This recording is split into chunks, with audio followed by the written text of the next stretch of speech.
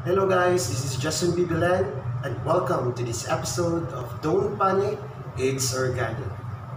Ilalaban kahit kanino Oo, simple lang ako at malabo mong magtipuhan Kaya okay nang kahit sa FB mo lang mapusuan Kasi di na mapigilan ng sariling mapaibig sa iyo Ano ba to? Gusto ka laging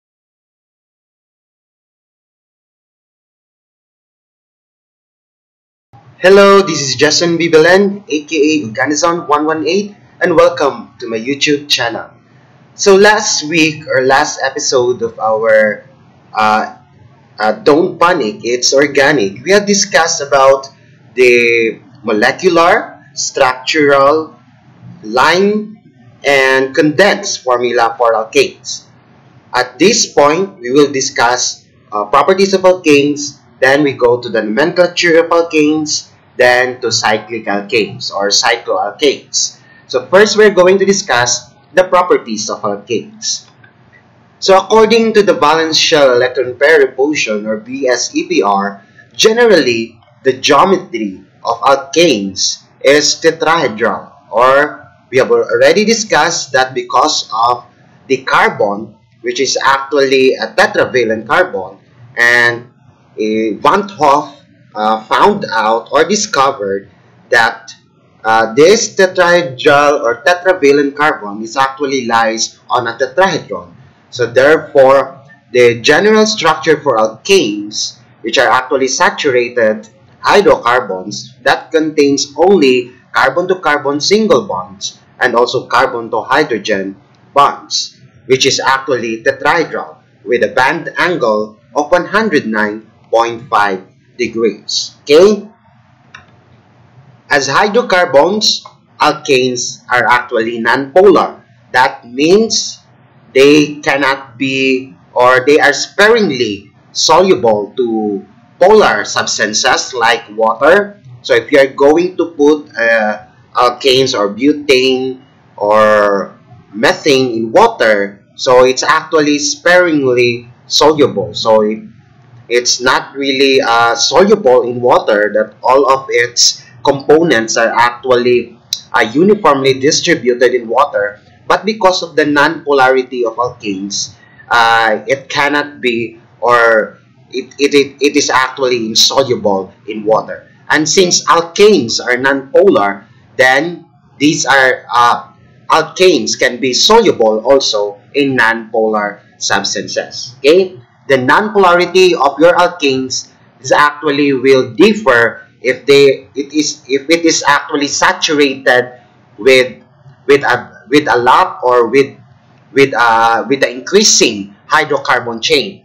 Okay? So the more the hydrocarbon chains are increased in the structure the more it becomes non-polar. Okay? So for example hexane is more non-polar than your butane or pentane. Okay, so the more it is saturated, the more it is uh, increasing in a hydrocarbon chain, the more it becomes nonpolar. And also the physical properties for alkanes, it actually has a low melting points point and low boiling points. And they are also less dense than water. Okay, so that is the really the properties for alkanes. and the longer the hydrocarbon chain, the greater its molecular weight, therefore, the higher the melting point and the boiling point, and greater the density. So the more it is saturated and the more it is actually increased in hydrocarbon chain, the more it has a greater molecular weight and therefore the higher the melting point and the boiling point and the greater its density. So we would expect that hexane would have a greater melting and boiling point than butane or pentane and would have a greater density than butane, than propane, than ethane.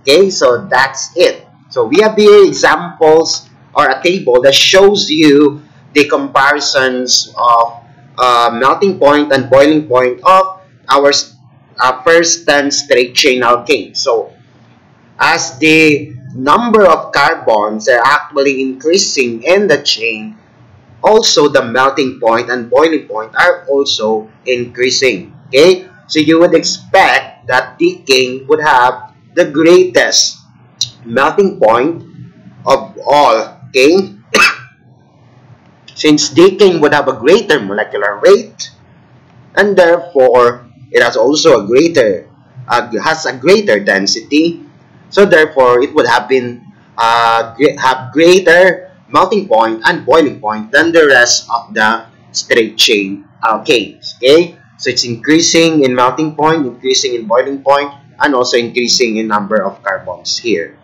Okay. Now let's move on to our next topic, which are alkyl groups. Alkyl groups are very important because some of our or mostly of our substituents are actually composed of what we call an alkyl groups. Now, what is an alkyl groups? Alkyl groups result when a hydrogen atom is actually removed from an alkane. So, how does this actually form? Okay, so for example, if you have a methane, so when one hydrogen is actually removed from your methane, it becomes CH3. Okay, so uh, hydrogen is removed, it becomes CH3, and if it is actually attached to your uh, state chain or it becomes a substituent, then the name of the CH3 uh, group of atoms is actually what we call the methyl. Okay? So neglecting your A and E, you change that into YL, pertaining to what we call an alkyl. Okay? So from alkane from alkane, when hydrogen is removed, it becomes an alkyl.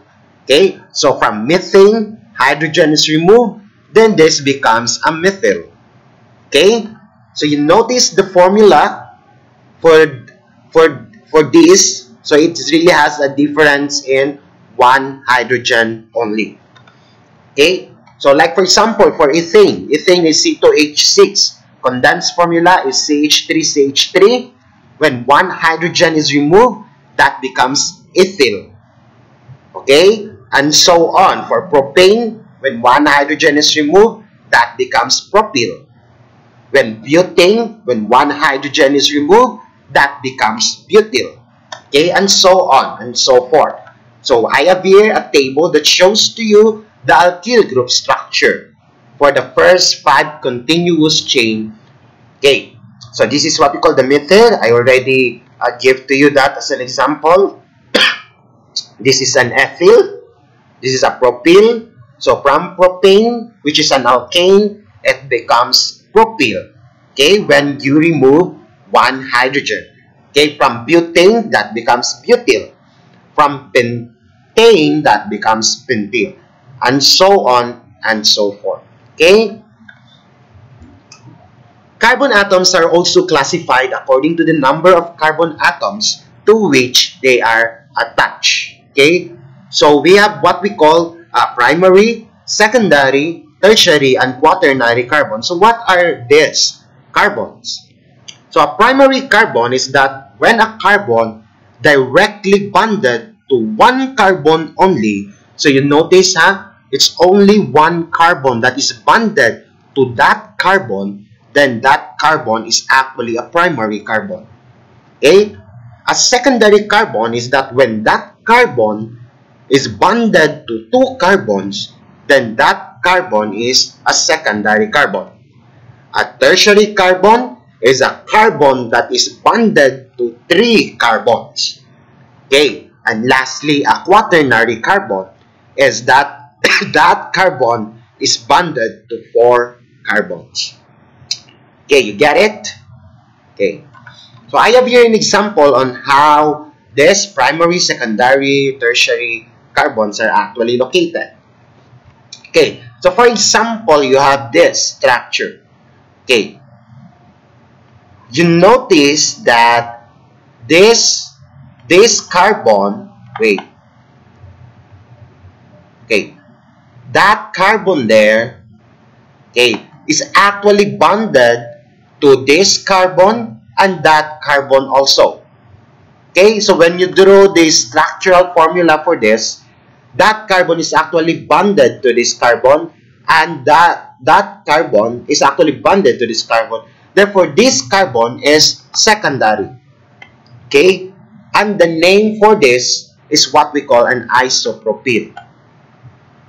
Okay, remember that you have also an alkyl that is a propyl. Okay, a propyl is CH3CH2 CH2. But in this case, your one carbon is actually uh, abundant or the the the one that is actually uh, bonded as a substituent is actually the secondary carbon, not the primary carbon. Okay, so therefore, this one here is what we call an isopropyl. Okay, because of the uh, the formation of the secondary carbon. Okay, so this secondary carbon would now be attached to to to a parent chain. So we will be discussing that later on. And that substituent now is what we call an isopropyl. Okay, so we will learn that more. Okay, we have also different kinds of uh, alkyl, which is butyl group, which which we can be distinguished as a primary, secondary, or tertiary butyl. Okay, so for a primary butyl, you notice that this carbon here is a primary carbon.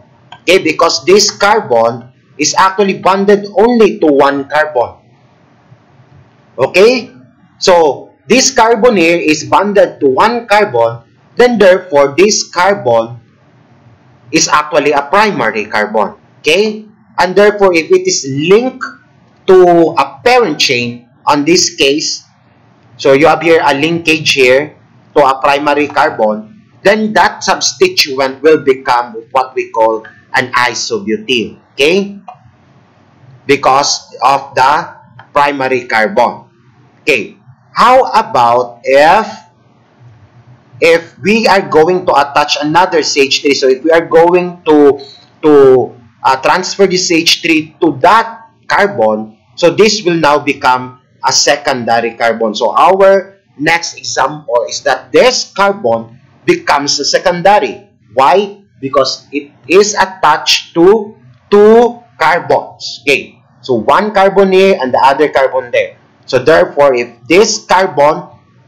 or this structure is actually attached to a parent chain of hydrocarbon, then this becomes a secondary uh, carbon, then that is, the name would be sec-butyl. Okay. So how about the last example? Okay. So you notice that this carbon here is actually attached to three carbons. Okay. So one, two, and three. So therefore, this carbon now would be uh, classification would be a tertiary carbon. Okay? So, this is an alkyl which is a butyl group. So, therefore, this becomes a third butyl or tertiary butyl. Okay, so the name for that would be uh, third butyl or tertiary butyl. Okay.